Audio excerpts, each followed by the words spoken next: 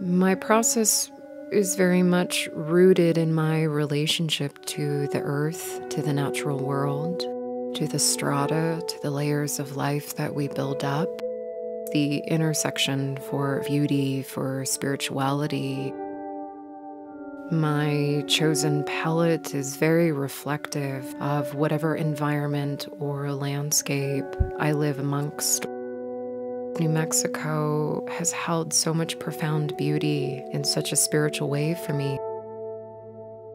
Relating to the very strong presence of the different cultures that exist here. There's a serene relationship I have when I'm out there. I actually prefer to be out in the open, to be really close to the wind, to be barefoot while weaving.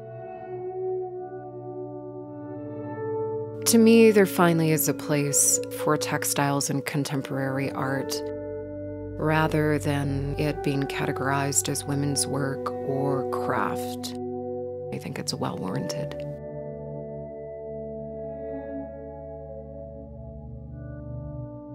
The way that we blanket ourselves with fibers, the way that we clothe ourselves, the way that we build structures, the way that we find protection, all of that is derived from the land the land through the loom, it really helps to open my eyes to the minutiae of life being built up between the warp and the weft.